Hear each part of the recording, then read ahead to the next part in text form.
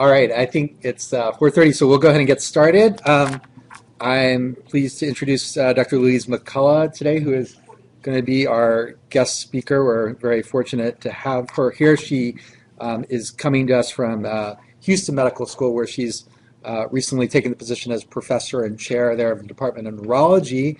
Um, I didn't even know that until uh, this uh, you arrived at it because I think of you as being from Connecticut, where I've seen you for a number of years, um, and um, and, and it seems you held, or maybe not originally, but you did your uh, undergraduate work at the University of Connecticut and your PhD in neuroscience at the University of Connecticut, and then your residency at Johns Hopkins um, in neurology, where you were chief resident um, and has gone on to be a real leader in the field of neuroimmunology, has been involved in a number of clinical trials for stroke, has had a particular interest in uh, the role of um, age and of uh, uh gender is not the right word. Word sex, sex in uh, in uh, development of stroke outcomes.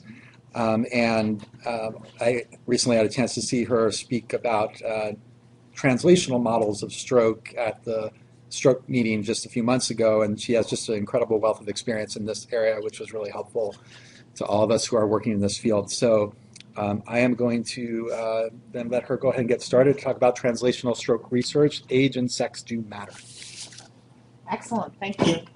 And I'm trying really hard not to be redundant with yesterday's talk, which was kind of more clinical, and I know some of you guys were there, and you know, so I'll, I'll talk a little bit about some some clinical stuff. Um, but I'm going to focus this one really on translational stroke, which is modeling in the laboratory and how we can improve it. As you guys may know, there's been a series of failed trials for um, neuroprotection or restorative therapy. And it's not just stroke. We kind of get down on stroke, but it's the same with Alzheimer's and other things. We just don't really have very effective treatments. So the question is why are our targets not very good? Part of it could be our animal modeling and the way we model things in the lab. And I think one of the biggest problems is that we often don't have clinicians talking with basic scientists because a lot of the trials that have failed are kind of almost predicted to, to fail if you think about it. All right, yeah, so I was in Connecticut for a really long time with a little sojourn and Mike Williams, great to see you from Hopkins. Yeah, after about a decade at Hopkins, I went back to Connecticut, so I'm kind of a Northeast native, so I'm adjusting to Houston, which is incredibly humid. But if you've ever been to the TMC, um, the Texas Medical Center, it really is amazing. It's like a city unto itself, and there's amazing resources there. So I'm hoping that it will really help our group kind of um, move our research forward. So you guys know this. I know some of you are residents and fellows, but um, and I showed this yesterday, just looking at the epidemiology of stroke and um, stroke in women, which is kind of where my clinical interests lay. Is there's really three types of stroke. I think you guys are disproportionately seeing intracerebral hemorrhage here as a referral center, um, and actually intracerebral hemorrhage is growing, um, mostly because the aging of our population. Um, you know, as you guys know, ICH really what's the two things two big risk factors for intracerebral hemorrhage. Hypertension. So if they have a like this is a oops a deep um, a deep bleed with intraventricular extension. So these are often related to hypertension. What's the other amyloid. So and that's becoming more and more common, amyloid angiopathy, because it's an age-related disease. And a huge number of patients on autopsy will have some evidence of amyloid angiopathy. Those um, hemorrhages will usually be more cortical. Um, they're often recurrent. Um, we know that blood pressure does also contribute to those, uh, but it's really just abnormal amyloid in the vessels.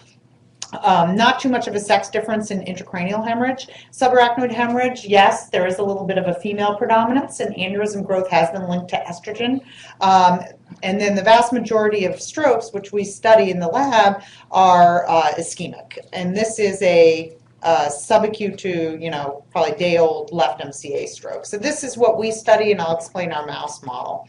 Um, so just speaking about sex and stroke. So you're right. Gender is gender is what you're perceived. You perceive yourself as male or female. If they talk about gender roles, it's like mom being home with kids and maternal. So sex is biology. So sex is XX or hormones or gonads or whatever. That's sex difference. So a gender difference may be that you know women are perceived maybe don't get seen as quickly in the emergency room. That, that might be a gender difference. So probably both exist in stroke. Um, it turns out gender differences are really that gap is narrowing. The women get TPA just as often as men. They get seen just as quickly as men. Sometimes they don't come to the ER as quickly as men, mostly because they'll minimize their symptoms or they live alone. So if you're aphasic or you fall down, you know, and you're alone and nobody's there to see you, you may have a delay getting to the hospital. About one in five women will have a stroke in their lifetime, whereas one in six men. Um, in most age groups, though, like I told you guys yesterday, if you're there, most age groups, males have a greater ischemic sensitivity. So if you have a boy and a girl that have like a neonatal or hypoxic ischemic injury or have a stroke in the neonatal or pediatric period, the boy does worse. They have higher mortality and they have higher neurobehavioral deficits from their stroke. Um, however, more women overall have stroke because we live longer. And the stroke rates in women really skyrocket after menopause. Um, and those women are very high rates for bad outcomes. So they have bad cognitive outcomes, they have more post stroke cognitive disability, they're more likely to end up in a nursing home. Okay, and you guys stop me if you want because this is pretty casual. I like to keep them casual and interactive. So this is just a table. We kind of um, went through, uh, again, I'm not sure how much, how many of you guys were here yesterday, but we wrote guidelines in 2014 really looking at sex differences in stroke and prevention measures in stroke. And risk factors for stroke do differ in men and women. The big one, of course, is pregnancy because men don't get pregnant. Um, last time we checked. Hi, Diego. So, um, and you're exposed to hypertension and gestational diabetes. Birth control, also a risk factor for women not experienced by men. But there's also risk factors that are just much more prominent in women. So women are much more likely to have migraine. So we know that migraine with aura can be a risk factor for stroke. More women with high blood pressure, more women with atrial fibrillation. And again, part of this is aging. So these are age-related diseases, so the older you get, the more likely you are to have them. Um, and some risk factors probably impact men and women the same, but depression and psychosocial stress also seem to have a disproportionate effect in women. All right, so I always show this case because, you know, you always think about, well, you know, stroke's of disease of the elderly. So this is one of the first cases we did um, in endovascular case.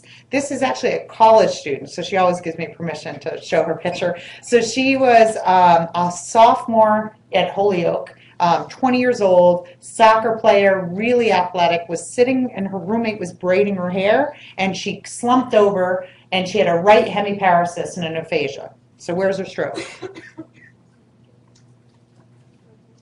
So left MCA. So cortical because of the aphasia. Remember, you know, these are really important signs to look for in the endovascular era. You need to figure out if it's a large stroke or a little stroke cortical signs, left hemisphere aphasia, right hemisphere neglect, you should be thinking about an ICA or an MCA occlusion. And that means maybe you should be taking them to the cath lab. But anyway, this young girl was totally healthy, no problem. She didn't have a dissection or anything. Um, she got TPA, luckily, in the outside ER only because they had done a in-service. Because a lot of these people will show up, especially young women, in the ER and they'll be like, oh, it's drugs, or oh, she's crazy, or oh, she's malingering. So anyway, she, this is uh, one of our first Mercy cases. So here's her, her um, angiogram, and here you can see just her skull film, and here's the Mercy.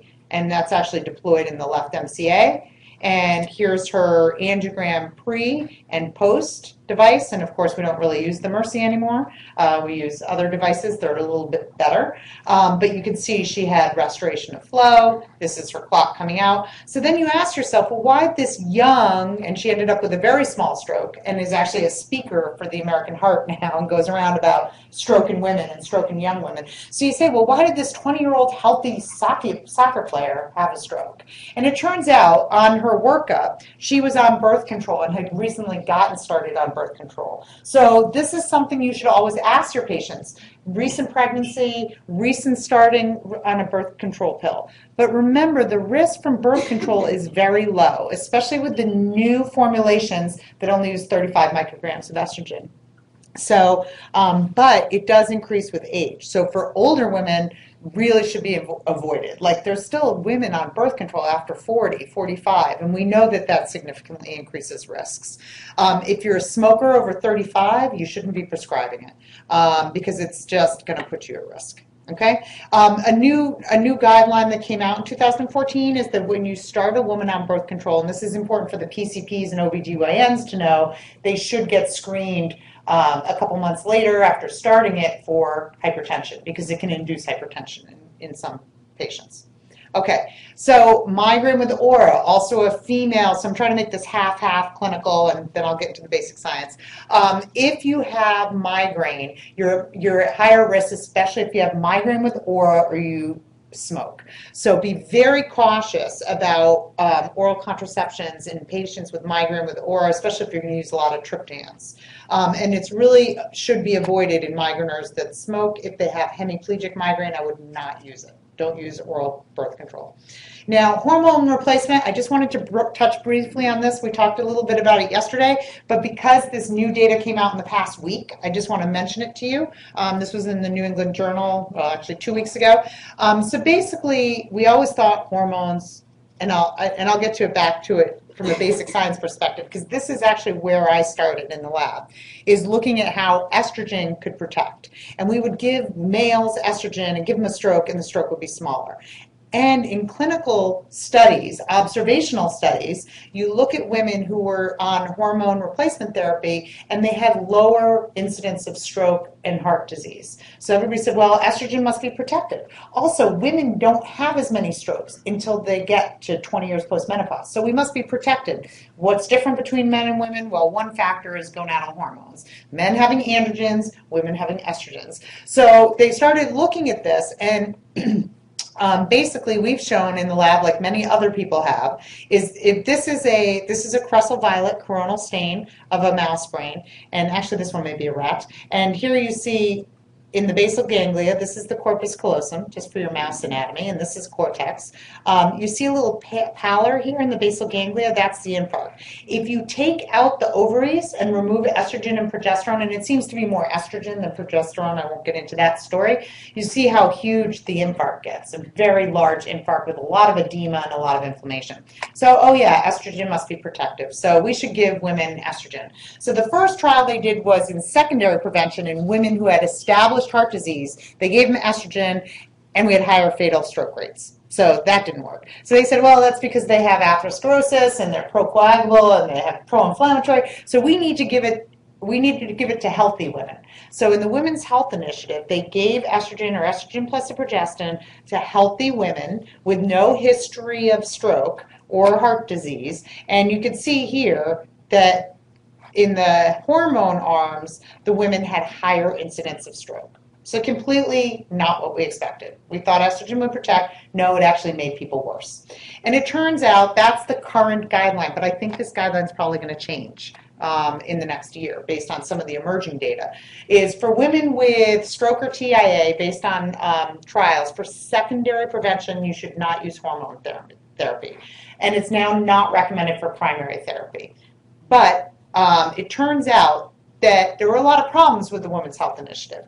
A lot of women did have vascular disease, and less than one third of them were between the ages of 50 and 59. And they had a lot of contraindications to hormone therapy, smoking and other things. They were older, they were more commonly diabetic. The average age in the in the WHI was like 61, 62, 63, whereas the average age of menopause is 51. So these women had gone a decade without any gonadal hormones at all, and then we gave them a big dose of gonadal hormones, and oh look, it made them procoagulable. Okay, it actually increased their CRP levels and stuff. So we started an average of 12 years postmenopause. So probably not. So this became like the whole timing hypothesis of estrogen.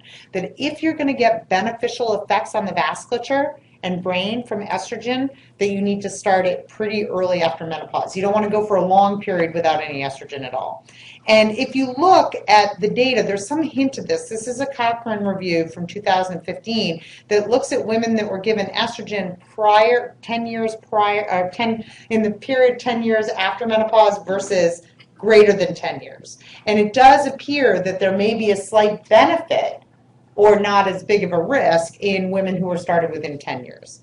And so that brought up this paper, which just came out, and where they looked at the vascular effects of early estrogen. So basically, they said, well, we did that trial wrong. That was a stupid trial. Like, we know estrogen can be pro-inflammatory, so why did we wait so long? Why did so? Looking back, we should design our trial better. So what they did in this trial is they initiated estrogen replacement within six years in the menopause or after 10 years. And because this group um, is much younger, they don't look at stroke as an out, out uh, as a as an outcome, right? So the average age of stroke in most case series for women are 72, 73. So these women are getting started on hormone therapy within six years of menopause. They're in their 50s. So we'll have to wait and see what the actual stroke risk is 20 years from now when women are at high risk. So they use carotid intima thickness as a surrogate marker, and they found that if you were started, and these guys had lower CIMT to begin with because they're younger than this group, because that group was started within 10 or after 10 years, and they found that early estrogen did indeed slow atherosclerosis. So, um, and this is important only because this is what I was talking about translational stroke research. So that trial was not designed very well because when you look at the people who were using estrogen therapy, they were younger, observational. They started estrogen therapy because they were having hot flashes, right? So it started right at menopause. So you go back to the lab and you take, and this is somebody uh, in my lab, Fudong Liu did this work, and he basically took mice and he um, started estrogen either at like 15 months, so that's about animals become kind of menopausal at 14 months. So they took um, animals at 14 months and then he started replacing them with estrogen at about 15 months, gave them a stroke at 20 months. Or he waited, didn't replace them, and then replaced them with estrogen two weeks before the stroke. The animals that had been replaced all along that never had a period where they got really hypogonadal were protected by estrogen whereas and had smaller strokes. Whereas the ones that got estrogen two weeks before actually had bigger strokes and more inflammation. So we could predict the results of the whi based on preclinical studies but nobody ever really kind of paid attention to it. So it probably wasn't the best trial design and now we have to go back and kind of do the trial again the way it probably should have been done. And this is important because now i'll get a little bit more into like age and the basic science. So again, women really take off here. Mm-hmm. So before you go Yeah. into this, I, I wanted to ask, your picture of your mouse or your rat Mhm. was pretty impressive. Mm-hmm. Is there any equivalent of that in human women? No, but that's a Remove the ovaries in women, do they have worse strokes? so that's a great, great question. And the answer is we don't really know because you can do surgical overectomy, or you know, if women need to have like a, a overectomy for whatever reason, a hysterectomy plus overectomy. Um, those the incidence of stroke is still really low in those women because the age makes such a difference. So the incidence of 40 year olds having stroke, whether it's with or without ovaries, is pretty low. That's true in men too. Um, there's some suggestion that women who've had early menopause may have a higher incidence of stroke. It also gets complicated because in clinical populations, you're talking incidence, naturally occurring stroke, whereas in the lab, we're inducing a stroke. So you need huge numbers to follow in these big epidemiological trials. But it does look that if, like, if you've had early early menopause or you have a um, uh, overectomy, that your risk of stroke is higher. There isn't that much data on the size of the stroke. so um, age really matters. Age affects stroke. It's the biggest risk factor for stroke is aging. Um, and and we'll get into a little bit of this kind of new concept that so age, like what can you do, right? You get older. Non the non-modifiable risk factor for stroke. Well, I'll tell you what, there's some really interesting preclinical data that suggests that aging may also be a modifiable risk factor. Um, so I'll explain it. So, and uh, really, it's people who at Stanford who started this whole concept of reducing age-related inflammation and age rejuvenation. Basically, what they did is they did a model, which I'm not going to talk about, which we do in our lab, um, called heterochronic parabiosis, which is where you take a young animal and you sew it to an old animal. They get sewn together. So it looks, you know, actually after a few days they're very happy. Um, and you, after about five weeks, they share systemic circulation. So you leave them around for a month, and they actually develop vascular anastomosis. So you can take a GFP positive mouse, a green fluorescent protein positive mouse, where all the cells are labeled with GFP, and you sew it to a wild type mouse. Within five weeks, about half of the cells in the wild type mouse are GFP positive because they're transmitted across those anastomosis. And it turns out if you do that and you look at the brain um, of a of a strain of an animal that has Alzheimer's, for example, or has amyloid, you see reduced amyloid in the old mouse. You can see increased neurogenesis, and they've done a lot of screening to figure out what the compounds are that rejuvenate the brain. So we can talk a little bit about that too. We've- What's it called? Wait, Help me get the term, you know, combining the young and older. So it turn, so it- probably there are either immune factors, because the immune system can kind of be transmitted, or cellular factors, like, so there were identified a few by proteomics, something called GDF11, growth differentiation factor 11 was one of them. Um, and then they found some negative ones, CCL11 being a negative regulator of aging. So what they then did is they took, um, like CCL11, for example, they made a recombinant protein and then injected it into young mice, and they found um, worse behavior. So they found cognitive deficits. By giving this factor for 30 days, they aged the animal. And they call it. Uh, so it's called heterochronic, meaning two different ages, parabiosis. Isochronic just means young, young, or old, old. So heterochronic means you do an old to a young. And what happens, and we do it in our lab, and we've been seeing, like, the um, young mouse gets, like, sucked up. Like, all the factors, it gets kind of, yeah. The old mouse starts, like, taking many, many things from the young mouse. And I'll talk, and I'm not going to talk about it today, but we have another line of research, and I would have gone on forever, and you guys would have been like, "Oh my God, it's eight o'clock. When is she going to shut up?" No. So I'm gonna. So the way we do it too is we've looked at the microbiome. So you guys know what the microbiome is? Yes. So it's all the commensals. It can be in your gut and your skin, whatever. So the microbiome is the bacterial commensals that live in your body, and we know they outnumber our cells about 10 to 100 to one. Okay, so it turns out the microbiome we found ch- changes after stroke. So other people have shown that the microbiome changes with age. So as you get older, and we don't know why, well, we now think we know why, the gut changes and you get dysbiotics. You get a total different ratio of bacteria in the gut, and they're more um, endotoxin producing. Um, and the gut architecture starts to break down, which may kind of help these kind of pathogenic, more pathogenic bacteria kind of overflow your gut. So it's been known for some time that the age gut is different than the young gut. What we found is after stroke, the animals looked aged. So their gut microbiome changed after stroke and was very similar to an age biome. Same pathogenic kind of species, same things that produce endotoxin, and that may be contributing to some of the death that we see um, in older animals and older people. They, they lose gut integrity and they get bacterial translocation of these pathogenic organisms to the mesenteric lymph nodes, and it produces sepsis. So that's uh, that's coming out, I think, soon, um, looking at age-related changes. But what's even more interesting is if you take young biome and you do a fecal transplant, which everybody's like, eh, who does fecal transplants? So, so we do it all the time now, right? For C. diff, for pathogenic C. diff enteritis, they do um, biome transplants. You know, because it's refractory to antibiotics. So if you take a young biome and put it in an old animal, and what you'll see is the young, the old animal is rejuvenated. After about a month, they have better behavior, even without stroke. They're much less likely to die from their stroke, um, and they have better motor activity. If you take the old biome and you put it in a young animal, about 40% of them die after stroke, and we usually have like a 0% mortality. So there's something very toxic in the aged biome that affects the host. And we've only done that over a month with these fecal transplants. So now we have to figure out, you know, how long does it take to get that gut-induced dysbiosis and impact stroke?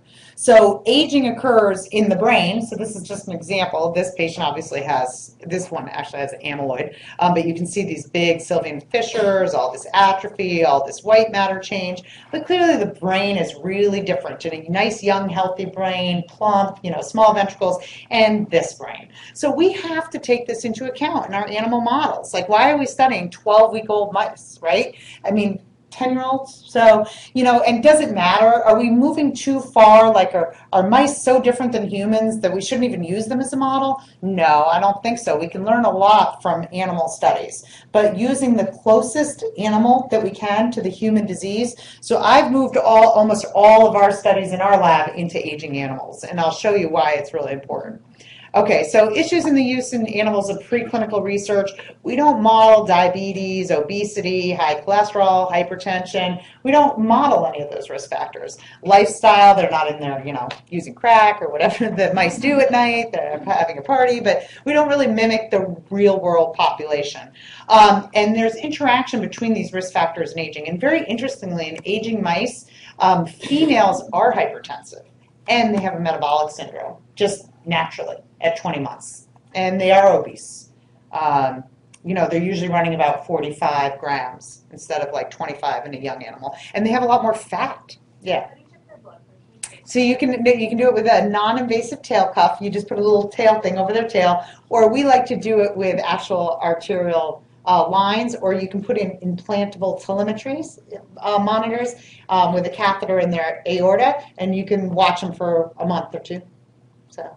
Yeah, they're not loving that telemetry though, because the telemeter itself is about this big and the mouse is like this big. So it's not, you know, it's kind of a big surgery, but they tolerate it well. Um, so this is very important because this is a new policy and it has to be in every grant submission starting last February. If you do not put this in, your grant will be returned without review. So it's called the rigor guideline. And now you have to at least detail what sex of animal you're doing and why you excluded one sex. And I think this is really important. But you got to ask the NIH, well, are you going to double my budget? So part of the problem with this policy, of which I was pretty involved in generating, is now people are going to do these underpowered studies looking at tiny numbers of small numbers of animals and females that, especially with stroke, if you stroke an animal, so mice and rats have about a four-day estrus. If you stroke them when they're in high estrus, they have a small stroke.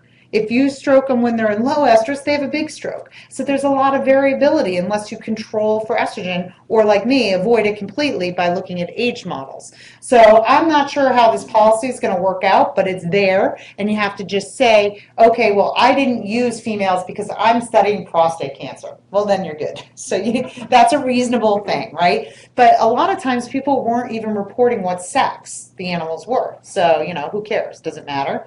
So it matters in clinical translation, and it probably matters at the bench too. So in in uh, clinical work in 1993, they did the exact same thing that we just did with animals in humans. However, they're still not required to use women in phase one and two in a lot of trials, and many of the side effects of drugs are disproportionately affecting women. So I don't know if you guys heard about the Ambien thing. So now Ambien, which is a 60 Minutes thing by Larry Cahill, they, they did a very interesting thing. They were finding that Ambien, the sleep aid, that women were falling asleep at the wheel and having car accidents the next day. And it was known, and it's in the package insert, that the metabolism differs in women. And it's not just weight, it's metabolic pathways. And so now Ambien comes in a blue and a pink pill. So I think it's going to happen more and more. So also we see it in preclinical. So the model we use, we use a lot of different models, but this is our kind of go-to model. This is a reversible middle cerebral artery occlusion. It gives a big stroke, which is why some people complain about it. We use smaller models too, but this one's pretty standard, and it, and it does model the MCA stroke pretty well. So here's the circle of Willis in a mouse okay? And here's the MCA. So you just put a suture in here and you put it right at the bifurcation here and block blood flow. And you get a pretty big stroke that I think resembles MCA. So here's the stroke over time. This white area is infarct, the pink is, is alive, and usually it starts in the striatum or subcortical tissue and then will extend out into the cortex. And usually by 24 to 72 hours, the stroke's pretty mature histologically. All right, so why do we care about sex differences? So this is some of our very early work, and I'm not going to go through it because you'll just glaze over and go to sleep. So this is oxygen glucose deprivation, which is stroke in a dish. These are neurons, either generated from males or females. You know, this is just one of our early studies. We've done it in hippocampal slices. We've done it in rats. We've done it in mice. We've done it in splenocytes. We've done it in other people have done it in astrocytes. We've done it in endothelium. And this is not unique to neurons. So what happens is if you look over time at oxygen glucose deprivation and the degree of ischemia, males are more ischemic sensitive than females. These are just neurons in a dish. Some are XX, some are XY. So like like well that's kind of cool. So females are kind of protected. So what does that mean? Do the females eventually catch up? Yes. Um, but you know when can we intervene? So after about 10 years of work, we've come up with this little thing. And this is just a simplified schematic. Um, this is what we propose as kind of the female predominant cell death. Seems to be mediated mostly by caspases, um, with cytochrome C release and then caspase activation. Why are females set up this way? We think it may have something to do with this little molecule, which is X-linked inhibitor. Sorry, I bootlegged this from my own review. Um, X-linked inhibitor of apoptosis. That is the chief primary endogenous inhibitor of apoptosis. It's on the X chromosome. So you say, so what? Women have XX, men have XY, but one of the X's is inactivated because you need genetic balancing. But like I told you yesterday, about 20% of the genes on the second X chromosome are transcribed. And although it might be shriveled up, then it can unshrivel. And all these epigenetic regulators, HDACs, and all these things probably influence the genetic expression of the second X chromosome, something we kind of completely ignored. Um, so anyway, we think that females die predominantly by caspases, whereas males die by more caspase independent cell death. So this is kind of the traditional, what we call PARP or apoptosis inducing factor. So this is a little factor that's released from the mitochondria. When the cell gets ischemic, it dumps out this factor, which then um, you know is very toxic. You see PARP activation, which is a DNA repair enzyme. So in cell, if, when the cell dies, what happens? It starts to chop up its DNA. PARP is activated trying to repair the DNA. It can't repair the DNA because it has no blood, it has no oxygen, it has no energy. So the cell just kind of gets into this death spiral, okay? And that causes mitochondrial failure, AIF translocation from the mitochondria to the nucleus, and cell death. But that predominantly occurs in males, whereas this occurs in females. And I'll tell you, they both occur almost equally in both sexes. So we're like, okay, what we first found is looking at mice that had knockouts of neuronal nitric oxide, which is the inducer of this pathway, or PARP, what we found is that the males were protected. So when you delete one of these, PARP, for example, or AIF, the males did better, but the females did worse.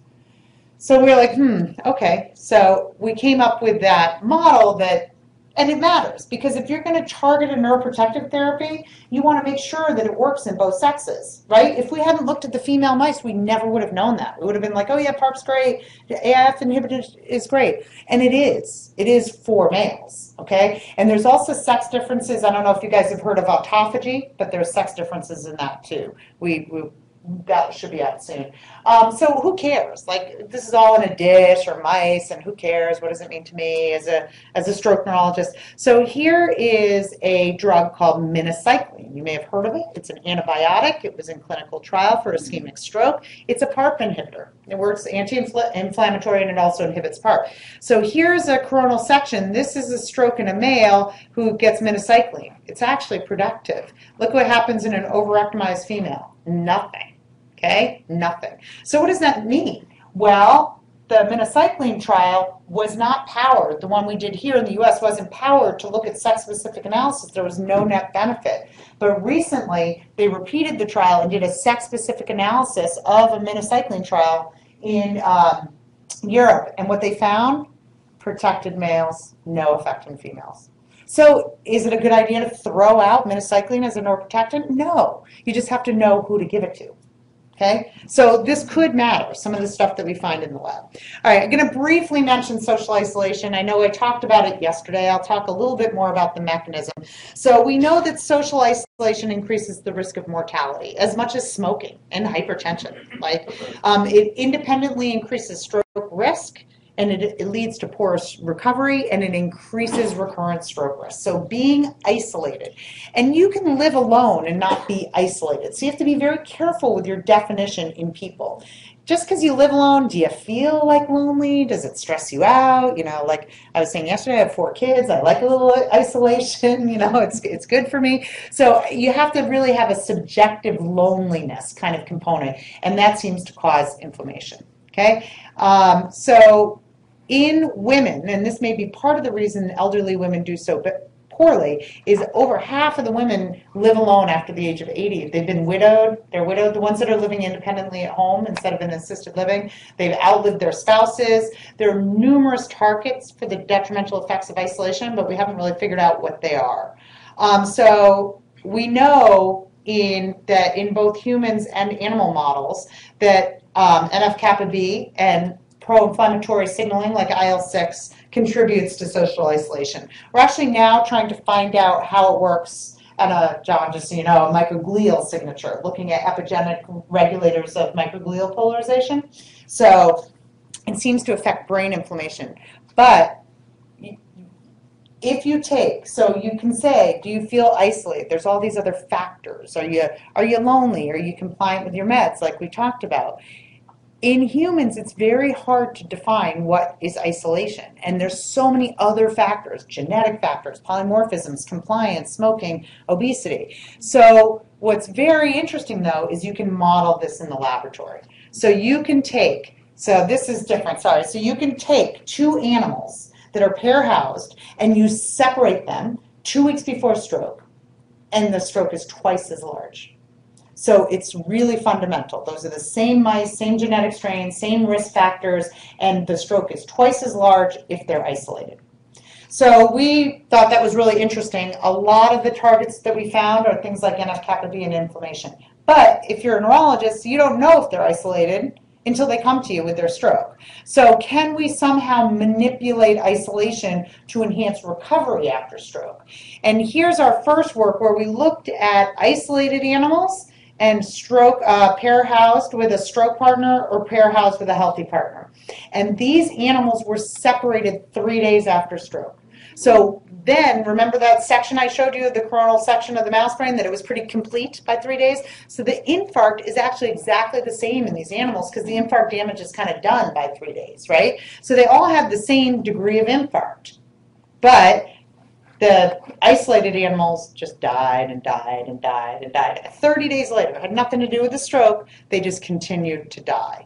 Um, and now, yeah, And isolated was like just by themselves. by themselves, yep. So they were in pairs beforehand, they had their stroke, they were returned to their pair, and then they were isolated three days later. The other one where I said that the stroke was 50% bigger, those were isolated three days or a week prior to stroke. So that is, seems to increase your baseline inflammatory thing. This clearly affects mortality. You know, we're trying to figure out why. Are they immune suppressed? Are they getting more infections? Um, and interestingly, with these animals, if you put them in with another animal, they're kind of like an aphasic patient. They actually withdraw. So if you put them in an interaction chamber, if they're pair housed and they're stroke, they still interact with each other despite their hemiparesis or they circle a little bit, especially as the animal recovers.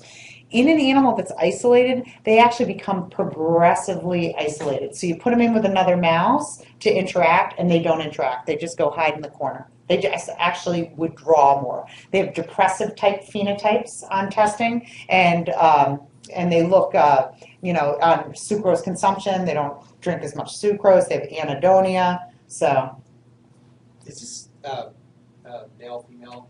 so that's a great, great question. So these are males. It turns out the effect is even more dramatic in females, and that's something we're just starting. Yes. Well, no, so we're using, so th- these are, these are young, but we use aged animals, but it's a good point. So, and actually, I just heard from um, a collaborator who studies progeria. Do you guys know what progeria is? It's like that pro aging thing. There's actually a mouse model of it, and they die by like four months because they just age and age and age, and it's probably a hell of a lot cheaper than my animal care bills, keeping them alive for 18 months, you know, and housed. So these guys age really fast. Um, and he found that if you put that animal in with a wild type, their lifespan was like a third longer. And why is that? Are they behaviorally interacting? But it comes back to maybe it's the microbiome, right? Because mice are coprophagic. So are we are we changing the biome? And so did it matter in the pairs, kind of uh, going further into John's question, if it was male, female separated or male, male It doesn't seem to separated? matter. So we did over in our earlier studies 10 years ago, because this is a project that's been going on for about 10 years. At Hopkins, we use both ovariectomized females with a male. You don't want to use a non-ovariectomized females, otherwise you then have lots of overcrowding because they have pups, you know. So then there's no isolation anymore. There's like you know a, a litter or two. So you have to over ovariectomize them, and it doesn't seem to make much of a difference. But the detrimental effects of isolation are more pronounced in female mice. And there's some question about, you know, like you don't want to put an aid, you don't want to put a mouse in with another like male partner because then they could be aggressive and they can fight, and that in itself is stressful. And they know Courtney DeVries has done some really great work on this. Is males putting them in together if they're stranger males, they're not happy at all, and in fact that makes their stroke bigger because of the stress and it um, uh, increases uh, cortisol or corticosterone signaling. So. Um, so they do have this depressive phenotype on a tail suspension. They just kind of hang there. They don't try and like right themselves. And we think most of this is due to effects on growth factors like uh, BDNF, which is really tightly tied to both stroke recovery and depression. So BDNF levels get lower with isolation and stroke, and they can be restored to almost baseline. Um, we've seen this in aged animals. I didn't show the females, but it's the same. That if you separate them before the stroke, their stroke is again bigger. Here's an isolated animal, and here's a pair housed animal, um, and their behavior is worse. So this is not unique to young animals. And the mechanism may be a little bit different in age, though, because it turns out that age causes a pretty big decrease in BDNF and growth factors anyway. Okay, it's associated with aging. They seem to have um, differences in their myelin recovery and their myelinization and their ability to remyelinate. So myelin basic protein le- uh, uh, levels are, are kind of enhanced with pair housing. All right. Louise, Mm-hmm. if, if you isolate the mice and then bring them back into assisted living and then give them a stroke, Yes, is, is this effect reversible? it probably is, but that's a great question. We've never checked. Yeah, you would hope that it is, right?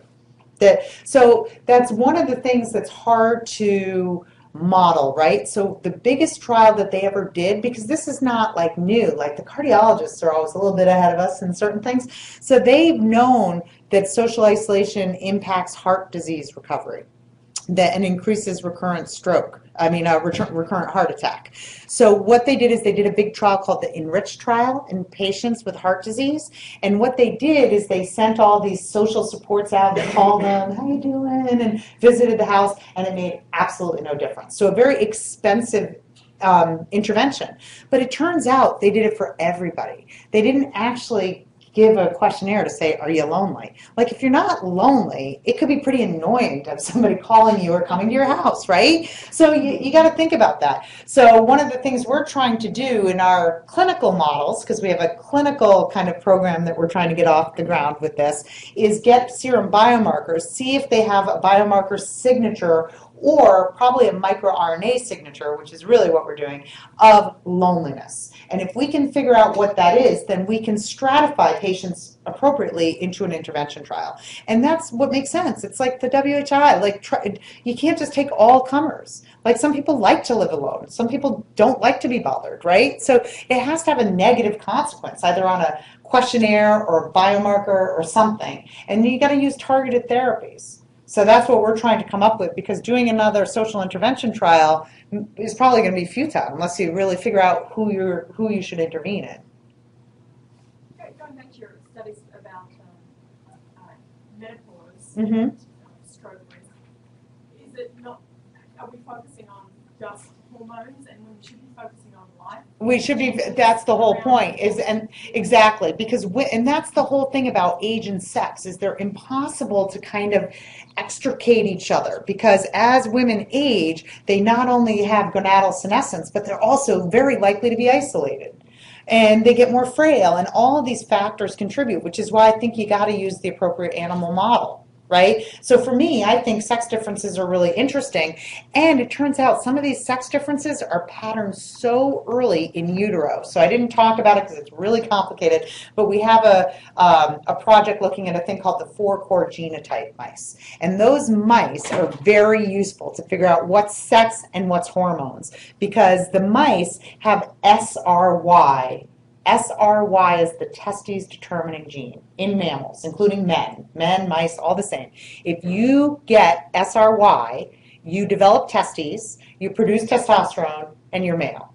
SRY is on the Y chromosome. Makes sense. You inherit your Y, you get the SRY, you develop testes.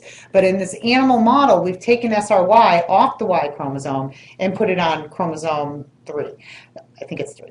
Three, yes. So now you can make XY females because they get the Y chromosome, but the SRY has been removed. So they default and they get they get ovaries and they produce estrogen and they can actually have offspring. You can also make XX males because they inherit the chromosome 3 with the Y chromosome. So they develop testes. So it gets really complicated then. But it turns out in young animals, it's the hormones. If you have estrogen, you're protected. So if you don't get the SRY, you make ovaries, you make estrogen, you have smaller stroke.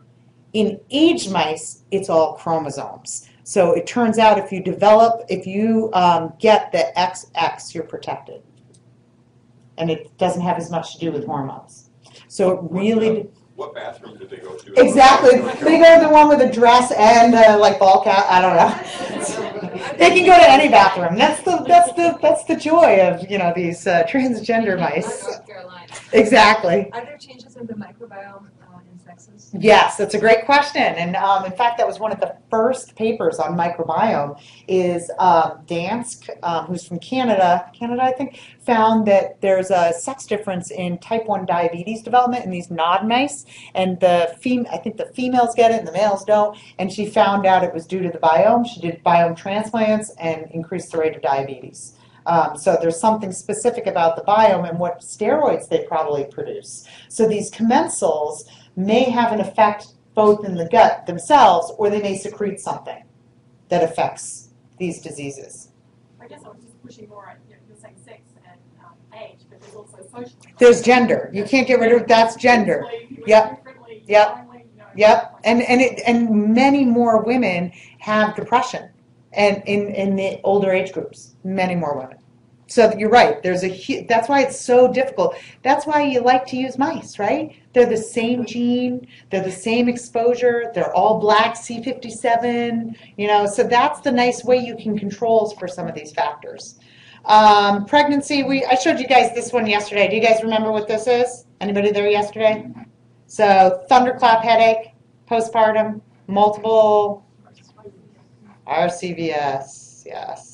So this is one of the things that you can see. There's a lot now we know about um, pregnancy-related vasculopathies. This happens to be one of them. I showed you her angiogram. Here's her little kind of very kind of constriction, and you know she's got segmental narrowing, which is gone um, after a few months. Okay. A microchimerism, I'm not even going to talk about this. We talked about it yesterday. So I know because I got behind. So we're going to talk about neuroimmunology now in the last like 10 minutes. Sorry, guys. So we started getting very interested in the systemic effects of stroke. This is some um, stuff that was started by Keith Pennypacker looking at the spleen response to stroke, but it's kind of true for many immune organs and many kind of like the bone marrow. So if you give a stroke in the right side of the brain to, an, to the animal, you'll see a response, a proliferative and a myelopoietic response from the right femur. So there's probably some communication, and this is probably true with spleen. So this is actually young animals. This is the thymus, okay? And 72 hours after stroke, you can see it's all tiny. This is the spleen, and it involutes and dumps out all its cells 72 hours after stroke. Interestingly, though, when you talk about age, you don't have a thymus. You can't even find it in an old animal. Because, and you don't have naive T cells very much. That's why old people don't immunize very well because most of their T cells have been exposed to an antigen, right? And it, if you try and find the thymus either in people or in mice, you can't really find it. Um, spleen, the splenic response is muted in the aged animal. So it's important. So here's like a fat pad in an aged animal and a young animal. So all these adipokines and pro-inflammatory factors, you can see how much more there'd be in the in this animal. Okay. Um, we now know in the age brain that just in the baseline brain, you don't see many leukocytes, but they do, or, or lymphocytes trafficking in and out of the brain. It's supposed to be immune privilege. Turns out the brain has things trafficked through it all the time. And now there's this new lymphatic system, which may kind of allow for some of these immune cells to traffic through the brain. Very few. Um, leukocytes in the young brain, but in the age brain, and this isn't really due to blood brain barrier breakdown, you see a lot more of these CD3 positive T cells. Okay? And you don't really see them at all in young, but you see them in aged. If you look at um, these cells, so this is just flow cytometry, this is CD45 high, so these are, are peripheral cells. These are CD45 intermediate, so they're microglia. So in a young male mouse, you'll see, here's the microglia, and then you'll see some scattered cells here. You see how many more are in the age brain. These are those T cells. And surprisingly, we thought they were going to be CD4 T, T cells, but they're CD8 T cells. And it turns out these T cells have um, a biological signature that seems to secrete IL-17, which is a neutrophil chemotaxin. So I'll explain why that's important. So aged mice, despite having very high um, mortality, and we fixed this because initially when we were first starting these studies, with a 90-minute stroke, 50% of the aged mice would die.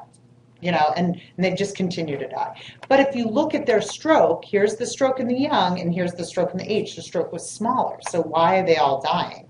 So we were trying to figure that out. We found a lot more hemorrhages in our aged animal. And this is true. This is an, an embolic clot model where we clot off the MCA with a clot, but they had a lot more of this hemorrhage. And you know, one of the big risk factors for hemorrhage is aging, like after TPA, okay?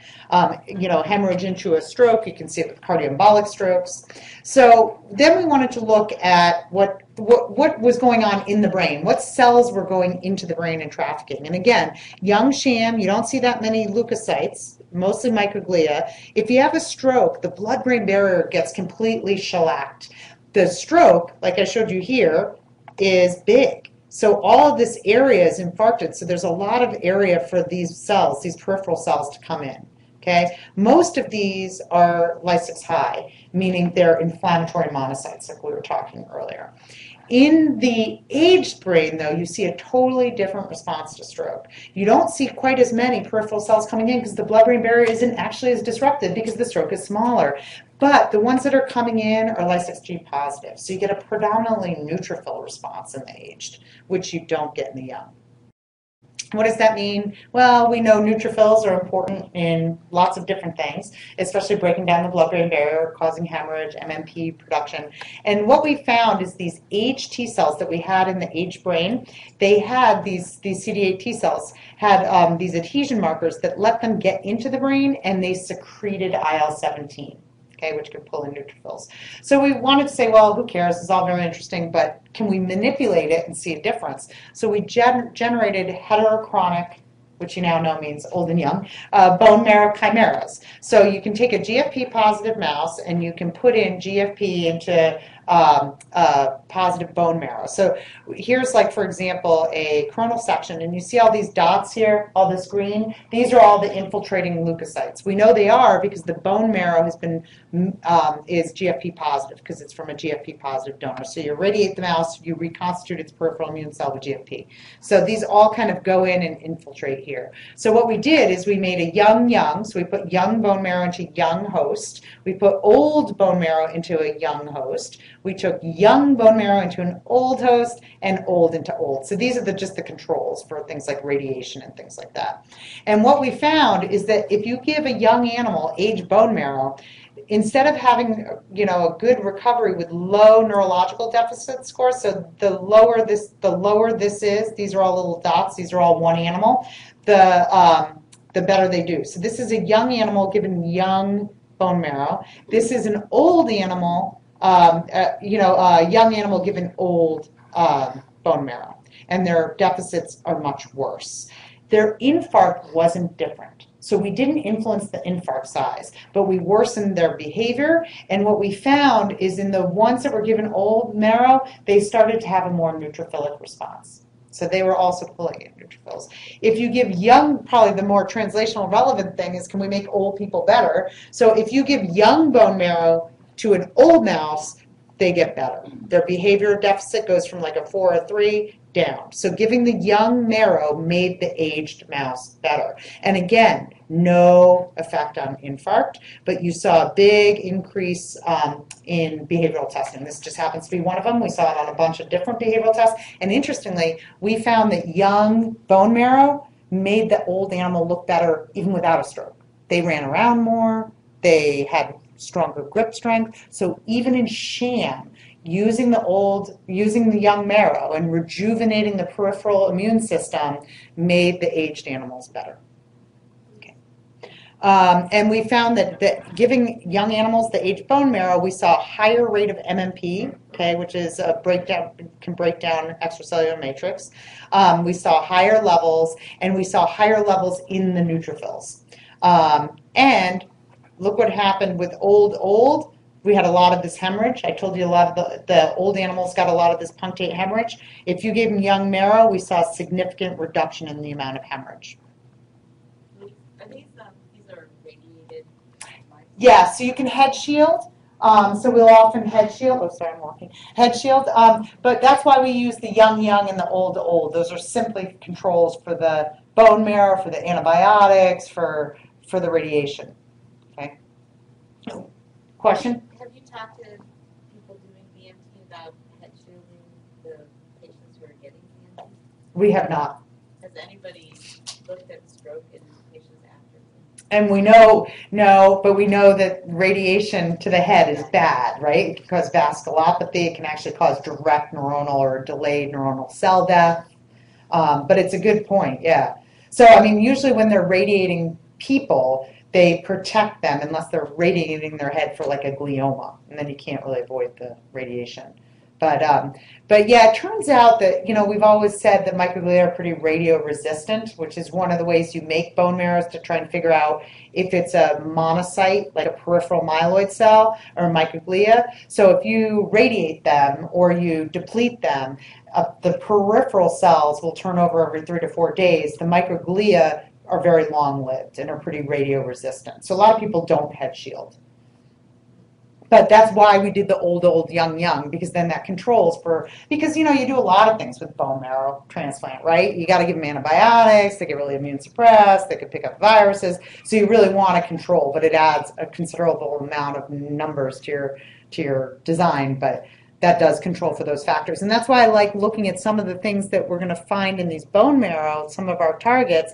We got to see if they're also the same as in our biome studies and in our heterochronic parabiosis. So each model has a plus and a minus. So a heterochronic parabiosis, they don't have any radiation. So if we find the same thing, we know it's not related to radiation. But heterochronic parabiosis is pretty tough. You know, you're sewing two animals together. So some people may say, well, well, sur- you know, surgical stress. With the microbiome, people will say, well, it's because you blasted the in- initial host biome with antibiotics, and that can change stroke. We know it can. Cura's done work on that. So, you know, each of these models, if you can find a kind of common signature in them that work in all three, those are probably the targets we want to explore. So that's why we're using bone marrow um, to kind of figure out, like, how can we rejuvenate, um, you know, using the immune system.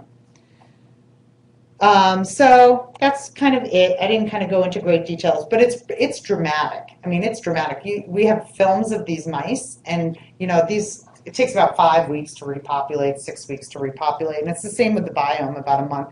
But these animals look different. You can tell the ones that got the young marrow or the young biome. They they they look healthier. It's kind of scary, you know. And it kind of, and, and now, like, because of some of the work that was done in California with some of these blood transfer, plasma transfer exchanges, they're actually now doing a trial. It's not, I don't think it's NIH approved or anything, where they're actually giving plasma to Alzheimer's patients from young patient, from young donors. And I'm like, that's dangerous, man. you know, you don't know what other infections those people can have. If you have established Alzheimer's, if you have a brain that, you know, that old withered looking brain, it- that's going to be pretty hard to like get back. So, you know, we need to come with some preclinical or early clinical kind of testing for dementia. And then maybe some of these rejuvenating things will, will work. But it, it was amazing to me that just by restoring the, bi- the biome or the bone marrow, that you could change stroke outcome, and you can. All right, so translational research, we should target mechanisms and develop therapies using appropriate animal models. We need to do behavior. I, I like looking at things like cognitive behavior in mice. And mice, it's also kind of scary, can do a tremendous amount. Like, so I was in Lille in France last year when I saw this, and she actually talked in that session, uh, Julie, and she found that you can actually train a mouse to use an iPad and like poke a picture of a plane. I'm like, oh, you know, I always thought they were like not so smart, but they can distinguish between like a schematic of a flower and a schematic of a plane and poke its nose. Anyway, um, so we really need to translate to clinical trials, and we need to have, you know, these people work together to design what's a rational clinical trial.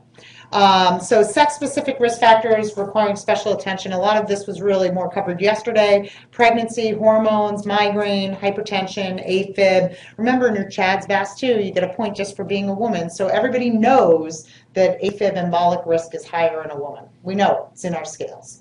Um, acknowledge the burden of, of stroke on older women, and it is now killing a tremendous number of women, many more than breast cancer. And it's dropped to the fifth cause of death in men, but it's probably upping to almost the second in women. So there's this big sex-specific kind of sex disparity, especially in elderly patients. Oh, and these are these are some of my kids because they always say, "Mom, you never show us pictures. Yeah, you never show our picture." But anyway, so here's a picture of my kids. Th- That looks like they're doing. They're not all mine. Just this one's mine, and this one's mine, and this one's mine. And then I realized, looking at this picture, kind of looks like they're giving you the finger. I'm like, maybe this isn't the. But what they're doing is this, which is called, I guess, the dab, which is like some. Is it the dab or something? Some like hot new kid dance move. So I always tell my my kids, I'm going to show a picture of you today. They're like, that's good because we never see you, and you've forgotten what we look like. But those are my kids, and uh, that's it.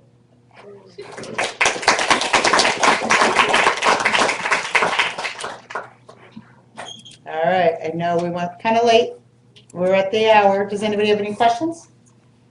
I was just gonna ask you this latest bone marrow data, I mean, you can comment on, you know, the stem cell transplants and stroke, they just really haven't shown a whole lot They have not. so far. What is your take on that? So it'd be really interesting because these are bone marrow transplants where there's a continual supply of these stem cells, like the mesenchymal stem cell um, human trials for stroke, and there haven't been that many. I mean, they give one or two doses. Maybe that's not enough, and maybe there's some slight efficacy signal, but doing the whole marrow, and in fact, that's where you would go with this, right? You would think, okay, we're gonna, and what are you replacing with the bone marrow? You're replacing the young immune system, including the hematopoietic stem cell. So probably that and putting it in the old marrow is giving giving a kind of regenerative phenotype based on stem cell division and repopulating the marrow with young cells. But it's very interesting to me that the old bone marrow is so toxic, and ditto with the old biome. Like, the, oh my God, the young mice look terrible. So not only is there something that's good, whether it's a stem cell or growth factor in the young, there's also something really bad that's detrimental in the aged. It would be interesting, you know, the question again, of the biome, male versus female. Like, you know, currently with fecal transplant, no one is looking if it's going from male to female or male to male. Exactly. Um, So that's actually one of the things we're starting to do in the lab is taking old animals and young animals and seeing if there's also a sex difference. But you get into a tremendous number of animals, and the NIH is already all over me because my budgets are so big. Because you know the aged animals for a classic R01, just the per diem and housing costs about a hundred thousand, hundred and twenty-five thousand dollars a year. It's incredibly expensive. So now you have like eight groups. You have male into female, female into male, age into young, young into age. So we're going to try and do one that's just looking only at um, at age. But then the problem is, is probably the biome in both is quite toxic. So do we start with a young fecal transfer? So we just started looking at young females into young males. But we know most of this is hormones, so I think the hormonal effect in a young animal is going to overwhelm a lot of these other effects. What is it about the old biome? We don't know. We're doing proteomics and metabolomics screening. So that's actually the grant that I was writing today that's due Monday. It is not quite ready for prime time. Um, we actually have to do mass spec. We have to figure it out what's in there. So it's so you can ask yourself, well, what is it? Is it the bacteria? And the bacteria are completely different. They are like non-overlapping cat- categories between Bacteroides and Firmicutes. Okay, the ratio completely changes. There's also a lack of mucus, and the gut itself looks really different. So you don't know if it's the bacteria, the something the bacteria produce, like a ch- short chain fatty acid, like butyrate has been suggested, or is it a problem with the host and in the immune cells? Because remember, the gut mucosal immunity is probably one of the most important immune organs in the body. So what we've done so far is looked at these over a month. So the biome is completely replaced, and then we give it a month. So it could still be having effects on the host. And same thing with the bone marrow. We could still be having an effects on the host. I think it's more immune in the bone marrow because you don't have time to rejuvenate all the vasculature. So, but that's what we got to figure out. Is it something in the bacteria itself? Is it the bacteria presenting an antigen to the host, or is it a bacterial product? And, you know, we're going to look at each of those. And interestingly, I never thought to do it, but we did it, and I just got the data from Venu. Um, if you give an MCA stroke, the gut's ischemic. Didn't know that. it's kind of interesting. And we know that you lose gut integrity with stroke, but it turns out the gut itself, looking at this hypoxic diet, looks fantastic. The mucosal barrier is ischemic. They know even in migraine, the migraine is the gut doesn't work during the migraine. Yeah. So- And, and yeah, same thing with stroke. They get a lot of ileus, so the gut doesn't. So we don't know. There's just such an interesting area, and the whole gut-brain axis is really unexplored. Just like you know, brain-spleen. How do these communicate? They communicate through the autonomic nervous system. So what are the signals? We got a long way to go to figure this out. Seeing that, I mean, could that just be a priming of the macrophages? Could, what would happen in a TLR knockout? Or Don't know, and that's a great question because you know then you start saying, well, do we look at mucosal immunity? Do we look at gamma deltas or Tregs or whatever? So last week, Ka Iadecola came out with the first study on biome on ischemic stroke and found that it's the gamma delta T cells in the commensals reaction to the gamma delta T cells in the gut that seem to be um, uh, kind of modulating ischemic stroke outcome. It's cool stuff. I don't know what any of it means. It's good. It'll keep us busy for a few more years. Thanks for coming.